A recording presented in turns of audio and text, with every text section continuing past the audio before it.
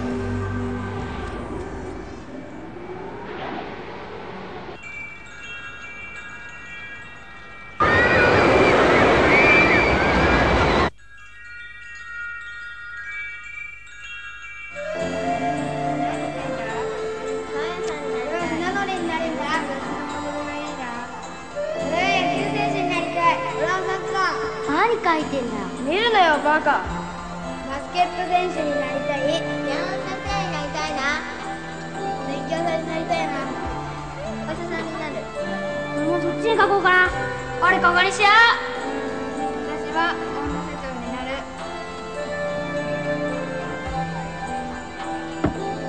いいかみんな。何？なんだよ。20年後の今日と同じ日にここに集合だから約束だぞ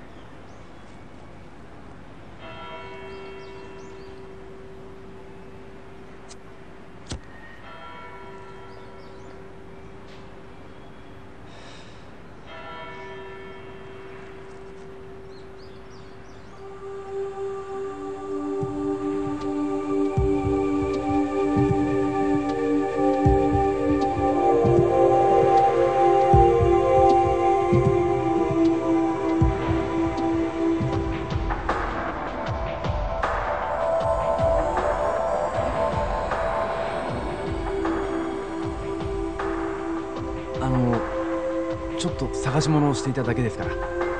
別にナンパしようとかそういうんじゃないんで。本当気にしないで。私も探してたんです。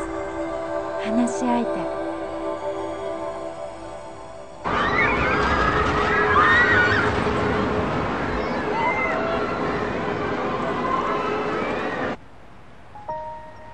さっき何探してたの？うん。小学校6年の時のクラスメートと春休みにここに遊びに来た時ベンチの裏にみんなで寄せ書きしたんだ。今日がそれを見に来る約束の日だったんだ。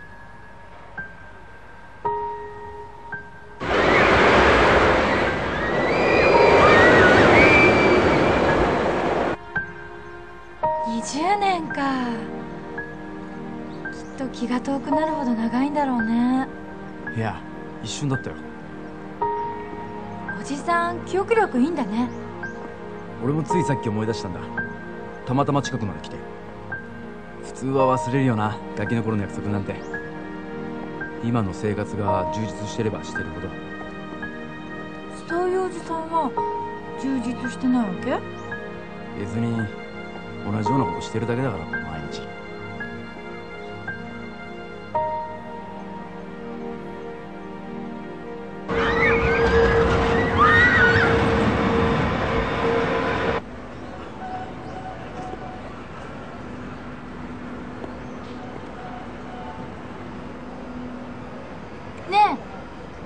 ょっとしてそうじゃない？どれどれ。宇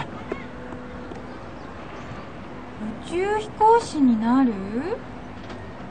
見るなよ。でも5分の1ぐらいは叶ったかな。5分の 1? 小さな出版社でサイエンス系の雑誌作ってるんだよ。ブラックホールはどうやってできたか火星に空気はあるかとかね。へえ。なかなかいい線いってるじゃない何にでもなれると思ってたあの頃は。選択肢はそれこそ無数にあってそれが網だくじみたいに右行ったり左行ったり。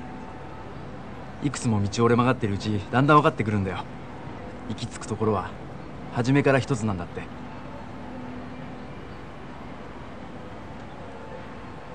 あねえねえねえねえこれすごいよ。おじさん宛てに恋の告白だ。またまた。本当だってば。中川君好きでした。また一緒に観覧車乗りたいですって。マジかよ。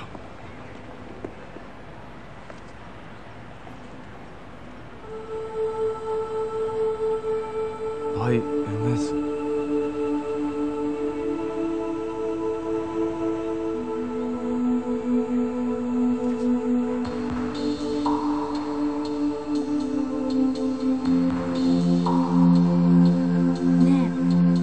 後に観覧車乗ろうか。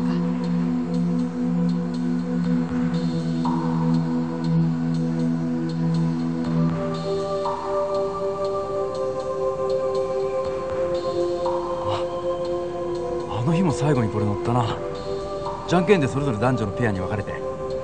俺恥ずかしくてその子の顔をまともに見れなかったんだけど。どうしたの？思い出し笑いなんかして。あのメッセージが本当にその子からだったらいいなって。どうして？両思いだったってことになる。なんてな。ガキの頃の淡い思い出だよ。多分俺にとっての初恋ってやつだな。そう。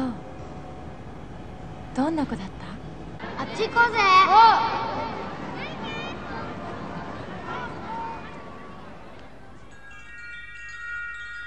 彼女の名前は杉田美久心臓が弱くていつも体育の授業とか休んでた。あまり目立たない子だったけどいつも気になってたんだ。彼女のこと。今でもその子に会いたいって思う？無理なんだよ。それから何年かして人づてに聞いたんだ。彼女の病気が悪化して亡くなったって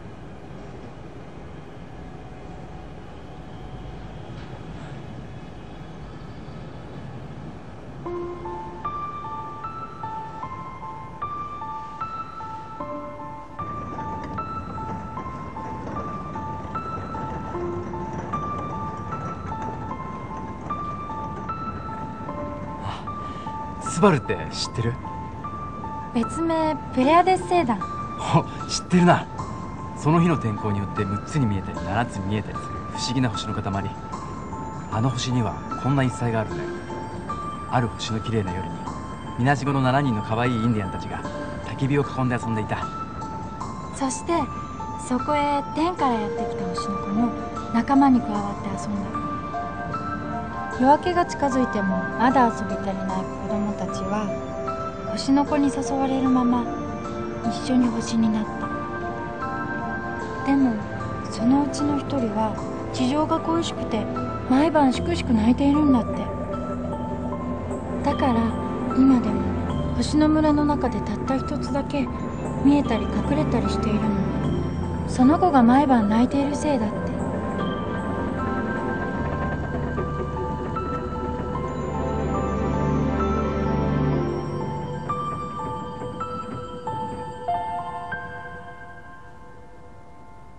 中川くんあの最後の夏休み。一緒に観覧車に乗った時あなたが教えてくれた星の物語よ。だって約束したじゃない。20年前に。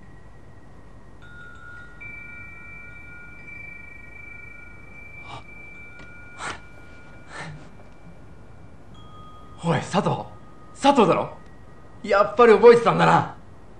どうしたんだよみんなその格好して。秀彦のやつが言い出しっぺだったんだよな。20年後にここで会おうってさ。20年後の今日と同じ日にここに集合だからなおお約束だぞ。そうそう。だから俺真っ先に。運が悪いよな。トラックにはねられるなんてな。何？どういうことだよ？だけど即死だったっつうから本人は苦しまなくてよかったんじゃねえか？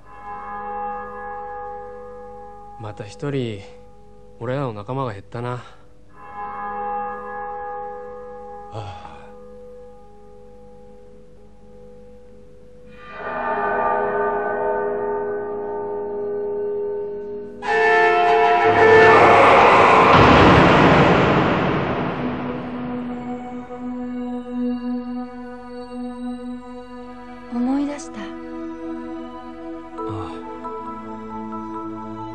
ようやく。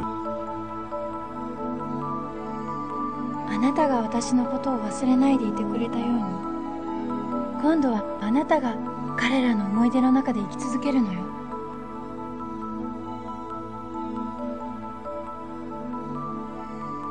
そろそろ行きましょうか。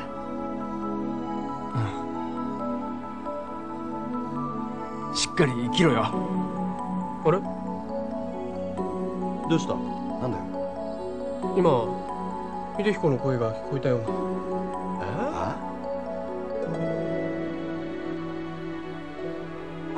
え？おいよせよ。何言ってんだよ。んなわけねえだろ。気のせいか。